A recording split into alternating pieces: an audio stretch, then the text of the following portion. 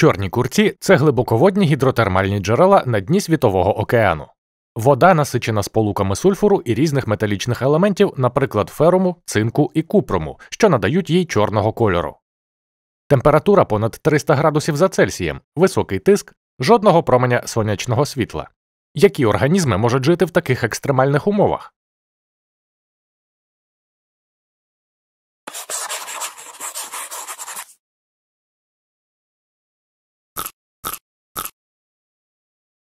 Археї вважаються одним із перших організмів на Землі і належать до одноклітинних прокаріотичних. Як бактерії? Так, але археї від них відрізняються деякими біохімічними та генетичними особливостями. Виявити археї вдалося 1977 року американським вченим Карлу Воузу і Джорджу Фоксу. У подальшому це сприяло введенню Карлом Воузом системи трьох доменів, яку утворюють бактерії, археї та евкаріоти. Таке дерево життя відтворює еволюційну історію організмів. Археї мають спільні ознаки з бактеріями, а також дечим подібні до евкаріотів. Археї живуть в усіх середовищах існування, навіть у непридатних на перший погляд для життя умовах.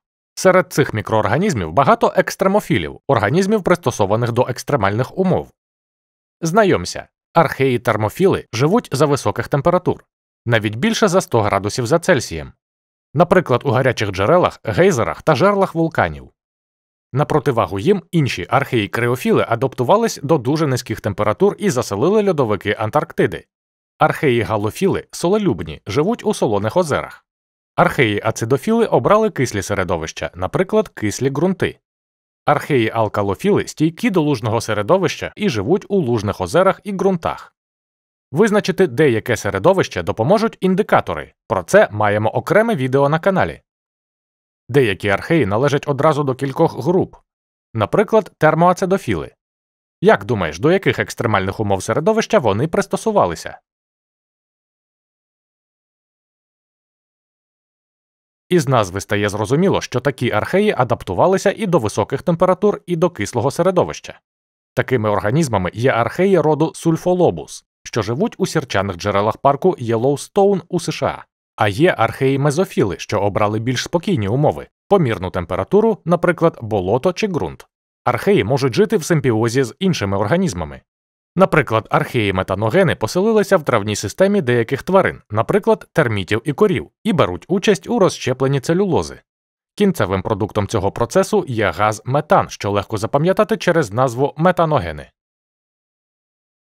Археї наявні і у твоєму кишківнику, але, на щастя, для нас усі відомі сьогодні археї безпечні для здоров'я людини.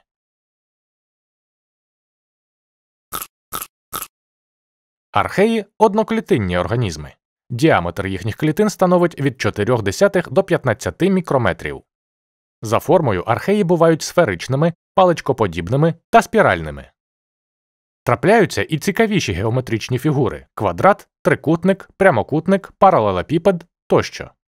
Для археїв не характерне спороутворення, секрет їхнього пристосування до екстремальних умов криється в будові клітини. На перший погляд, вона дуже схожа на вже знайому бактеріальну. Характерна ознака прокаріотичної клітини відсутність ядра, а генетичний матеріал, молекула ДНК, розміщений безпосередньо в цитоплазмі. Клітинна мембрана має особливості. Ліпіди, що входять до її складу, утворені міцнішим зв'язком, ніж ліпіди в клітинній мембрані бактерій чи евкаріотів.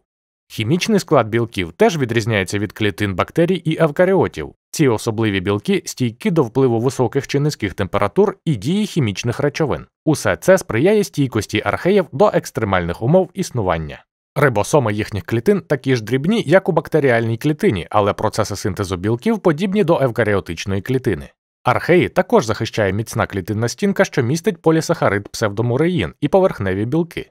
Деякі археї клітинної стінки не мають, наприклад, ацидофільні археї роду фероплазма. Для руху археї мають джгутики, що утворені білковими нитками. Археї дуже різноманітні. За потребою в кисні вони можуть бути аеробами, тобто організмами, яким для життя потрібен кисень, і анаеробами організмами, що живуть у безкисневому середовищі.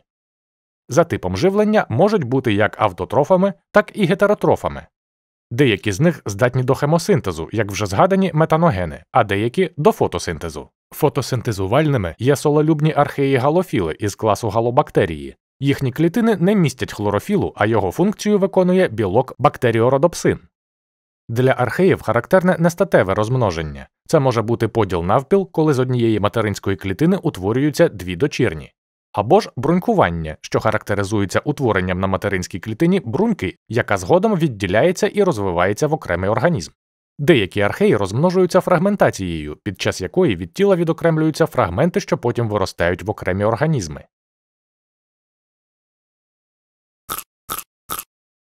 Повернімося до екосистеми чорних курців. На перший погляд, умови абсолютно непридатні для життя, але тільки не для героїв нашого відео. Там живуть археї хемоавтотрофи, вони поглинають сірководень і вуглекислий газ і перетворюють їх на вуглеводи. А за допомогою енергії, що виділяється під час хімічних реакцій, археї утворюють необхідні для власної життєдіяльності органічні речовини.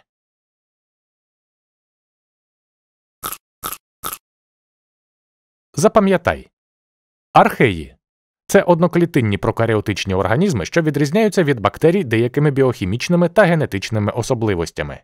Живуть у всіх середовищах існування, деякі представники екстремофіли, тобто організми пристосовані до екстремальних умов. Серед їхніх представників є аеробні та анаеробні організми, автотрофні і гетеротрофні організми. Розмножуються археї нестатево, поділом клітини навпіл, брунькуванням, фрагментацією.